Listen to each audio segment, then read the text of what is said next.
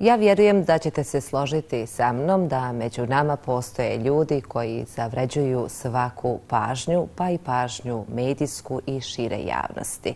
Upravo naš kolega Igor ovog jutra razgovarat će sa gospođom Nedom Gudelj, koja je vjeroučitelj, ali i za koje stoji bogato književno stvaralaštvo. Naravno pričom idemo direktno do Trebinja. Pozdravljamo sve gledalce Trebinja, našeg Igora i njegovu sagovornicu. Dobro jutro.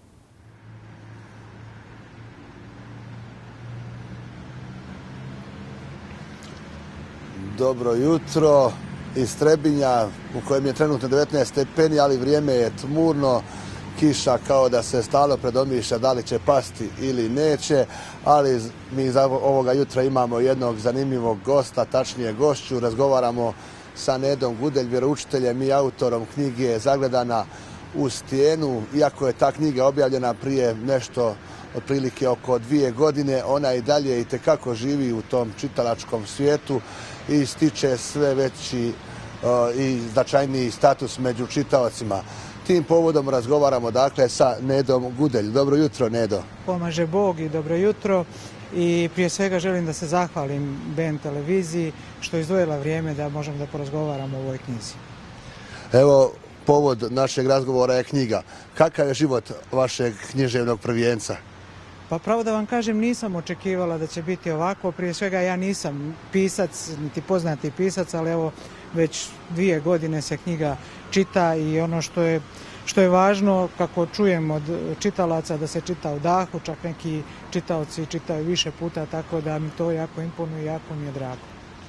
O čemu govori evo za, ove koji, za one koji nisu čitali vašu knjigu, a svakako su možda i zainteresovani, o čemu govori vaša knjiga i ko su junaci vaše knjige? Pa dobro, knjiga je posvećena Mati Teodori i gumaniji manastira Duži, koja je bila duška igumanija sve do svog upokojenja 2015. godine.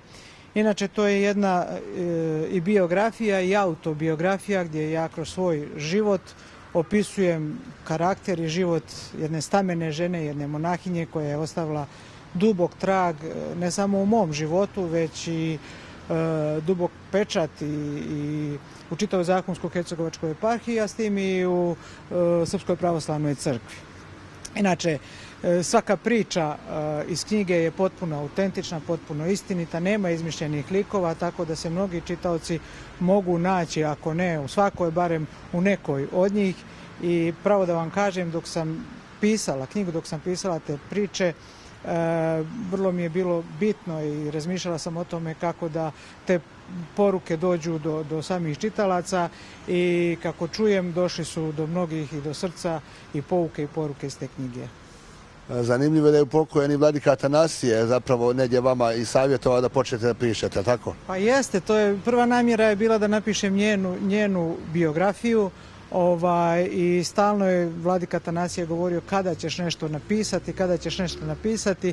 I nekako meni je to bilo, i napisala sam ja tu biografiju, znate, ali znate kako biografije idu nekako šturo, te rodila se tu i tu rodila ona konkretno u Peljavama, e, otišla 56. godine u manastir Tavnu i ne znam, 57. došla u manastir Dobrićevo i tadašnji vladika Vladislav je premjestio u razrušene duži 59. godine to su sve njene putešestvije.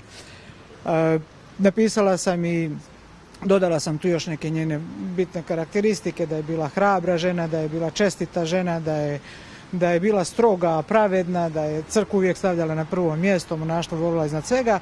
I sve to kad sam napisala, ovaj, ispalo je negdje 3-4 kucane stranice u Wordu. I naravno to je meni bilo malo za nju i onda sam ja počela da pišem od svog prvog susreta sa njom, a to je bilo već sad davne 1979. godine i tako i počinje roman. I evo recite nam kakav je vaš odnos bio sa igumanijom Teodorom, koliko je ona oplemenila vaš život i vas kao duhovno i, i svetovno biće? Pa ona je uveliko uticala na moj odnos prema životu i promijenila je moj odnos prema životu, a ja sam toga postala svjesna tek, tek kasnije. I pišući upravo o njoj. Ja sam pisala o svojim usponima i padovima i ovaj, pišući o tome vidjela sam u stvari da opisujem i svoje duhovno sazrijevanje pored nje same i ovaj, a duhovno sazrijevanje, znate, to je jedan proces koji traje do kraja života i bez duhovnog sazrijevanja nema, ne, ne može biti potpuni, ne mogu biti potpuni ni druge vrste sazrijevanja kao što je, ne znam, čak i fizičko, intelektualno i emotivno, bez duhovnog sazrijevanja nema. Ja sam imala sreću da, da budem pored nje, ali ne samo ja, bilo nas je e, dosta ovaj, mladih ljudi koji smo često dolazili u Duži, u manastir Duži, kao što znate tu blizu Trebinja ovaj, i koji smo svak na svoj način došao i duhovno sazrijevao pored nje. Za kraj, da li planirate nastaviti vašu spisateljsku ajmo reći, karijeru? Da, to me često pitaju. Pravo da vam kažem, e, nekako za pisanje treba inspiracija. Meni je inspiracija ovaj put bila e, nadahnutost mi je bila mati Teodora, ne znam da li će doći, to nije, ne zavisi od mene, ne kažem opet i od inspiracije, pa ćemo vidjeti, vidjet ćemo šta će biti. Svakako vam želimo puno inspiracije i, i puno dobrog rada. Hvala puno za pozivu i hvala na razgovor. Hvala vama. Gledalci, toliko za ovo uključenje iz Trebinja. Razgovarali smo sa Nedom Gudelj, vjeručiteljem i autorom knjige Zagledana u stijenu. Pozdrav iz Trebinja.